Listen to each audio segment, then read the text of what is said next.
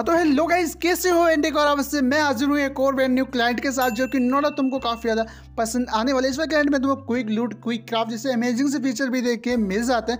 And इसको store करना simply आपको एक ग्लोबल रिसोर्स में जहाँ पे आपको तीन से चार फ़ाइल मिल जाएँगी। और सभी भी फ़ाइल को आपको एक साथ में एक्टिव करना है, जिसका सिंपली इसकी कुछ ऐसी आपको मिल जाती है, जो कि ओवरऑल काफ़ी क्लीन और काफ़ी अच्छी देखने में लगती है। नाबाद सेटिंग्स सेटिंग्स भी पूरी आपकी यहाँ पे ट्रांसपेरेंट रहती है, जहाँ पे आपको क्विक सेटिंग का भी ऑप्शन मिल जाता है, जिससे अपने कैमरा एंगल को आप लोग इजीली फ़र्स्ट पर्सन तो थर्ड पर्सन इजीली चेंज कर सकते हो। एंड गेम प्ले में आपको फुल ग्लास का टेक्सचर पैक मिल जाता है। किसी ब्लॉक को माइन करे तो उसकी माइनिंग जो पार्टिकल्स होते हैं, उसकी माइनिंग एनिमेशन तो वो दोनों ही गायब हो जाती है, जिससे आपका गेम का लिए काफ़ी हद तक फिक्स हो जाएगा। नॉनेस तुम्हारी इन्वेंट्री पूरी ट्रांसपेरेंट मिलती है, और तुम्हें जितने विंडोज़ सभी डोर्स रहेंगे सभी में आपको ग्लासेस मिल जाते हैं, जो कि आप लोग इसकी पे नोट डाउन कर सकते हैं। और सेकंड तुमको जितने आप पोर्सन बॉटल्स रहती हैं, सभी में आपको लोगोस मिल जाते हैं, जिससे आप लोग किसी भी पोर्सन बॉटल को इजीली फाइंड कर सकते हैं। और नेक्स्ट तुमको इसमें स्मॉल शॉट का ऑप्शन भी मिल जाता है, जो कि पीवी लवर्स को काफ़ी ज़्यादा ही पसंद आने वाली हैं। नेक्स्ट उनको फायर इफ़ेक्ट कुछ ऐसा देखिए मिल जाए जिसमें कोई भी एनिमेशन और ना ही कोई यहाँ पे पार्टिकल्स रहते हैं, जो कि आप इस नोट डाउन कर सकते हो। फायर कैप में ही आपको कोई भी यहाँ पे धुआँ या फिर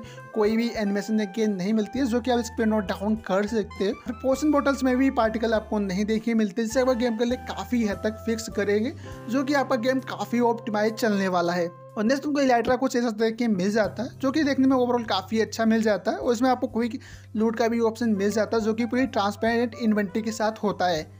और नेक्स्ट तुमको जितने भी और रहेंगे, सभी में आपको आउटलाइंस मिल जाती हैं, जो कि देखने में तुम्हारे और काफ़ी कूल और काफ़ी अच्छे मिल जाते हैं। और इसमें लेग काफ़ी कम होता है, जिससे आपको थोड़े बहुत यहाँ पे एपिस ड्रॉप हो जाते हैं, वरना आपका गेम एकदम से स्मूथ चलने वाला है।